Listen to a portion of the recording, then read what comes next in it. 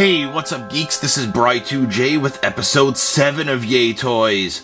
Today's review is going to be on the Star Wars Black Series episode 7, The Force Awakens Kylo Ren from Hasbro. I found this figure in my local Duane Reade and I bought him immediately as he was the last one there. The Force is strong with this figure, at least the dark side. I think Hasbro did an amazing job with this figure. Um, we'll talk about that in a second, but first let's talk about his height. So Kylo Ren stands at 6 inches tall from the top of the cloth hood to the bottom of the boots. I do like the fact that they chose cloth. Um, there is some vinyl underneath, like for the bottom part of the robe, but the cloth really makes it. I just really think that's great. The scuff work on the mask is really nice too. Um, it's hard to show on my camera. I'm sorry about that. The lighting and the camera are not exactly great. But trust me, it's there. The back of the helmet is actually done right. Because for those of you that have seen the movie, um, it's reminiscent to Darth Vader's helmet. So I think that's really nice homage in the uh, design department in the movie. And I like that it transpires perfectly to uh, an action figure form. Um, so yeah, this figure is really awesome. Uh, the articulation, they didn't mess up with that either, and I'm really happy. They did a great job. The head goes all the way around. Um, it doesn't go back too far, doesn't go down too far, but that's fine.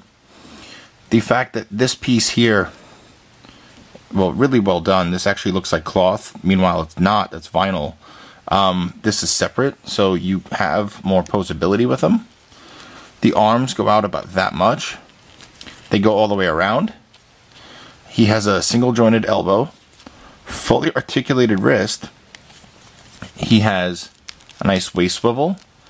He has a little bit of ab crunch. The upper thigh does swivel, just hidden underneath the bottom of the robe. So it does swivel. Mine is a little tight, but it does swivel. Double jointed knees. Full ankle rotation, including the pivot.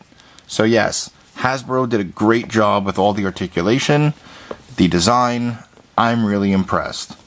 Now, let's talk about the lightsaber, which is also impressive. So no Jedi, or Sith in his case, would be complete without the lightsaber. I did like the fact that in the movie, the lightsaber for Kylo Ren was unstable because it was kind of like so was he. I did like the flame propulsion out of the sides. So that was a really, really unique take on a lightsaber. Um, so Hasbro did a great job making the figure version of it. Um, it's kind of hard to see in the camera. Uh, they kind of did a great job with like the the flame. I really like that. I'm really impressed. But one other thing about this lightsaber is that when you don't want them to have the saber on, you just take this thing off. That's that's really impressive. The old figures from when I was a kid, you know, if the saber broke, that was it. Um, so yeah, this is really a neat feature and really nice paintwork on the lightsaber handle too, or the hilt. Um, I don't know if it's picking up well on this camera. So it's time for a new camera. But uh, yeah, I'm really impressed. And to put it on, it's really a simple process. Just make sure all the pegs go right into the hole. And there you go. Really easy. And he holds it nicely too. Here. I like to display him only holding it in the one hand.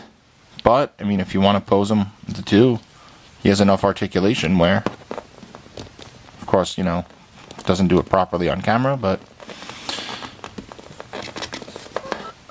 there you go.